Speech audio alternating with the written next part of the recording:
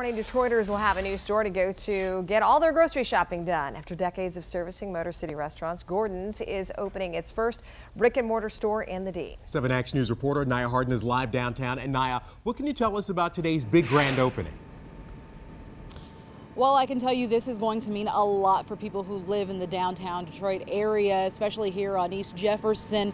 Uh, really a nice area, McDougall. I want to show you what it looks like right here because it's very beautiful. This actually used to be a Staples uh, and it's right next to a dollar store. Nice sized parking lot, uh, but I want to let you know what this thing is going to look like inside. So according to Crain's, this is going to be about 6,000 square feet over here on Jefferson Avenue. It'll feature fresh seasonal produce, fresh meat, chicken chicken tenders, rotisseries.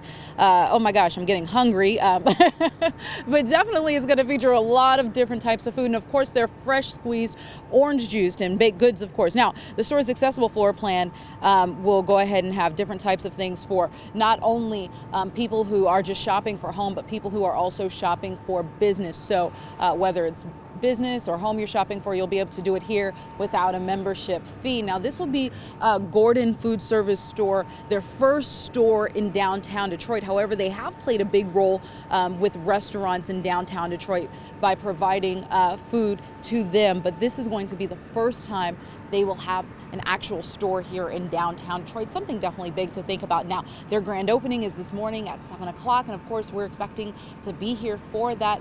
It's going to be an exciting time. And like I said, I'm pretty hungry now after talking about all that food, so I might get a little something to eat. Naya Hart, 7 Action News. Good deal. Thank you very much for that live update, Naya. Yeah, certainly great news for people who live in Detroit. Thank you, Naya.